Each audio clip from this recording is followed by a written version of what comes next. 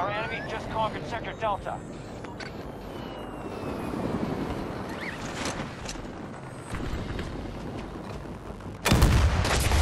Enemy vehicle destroyed!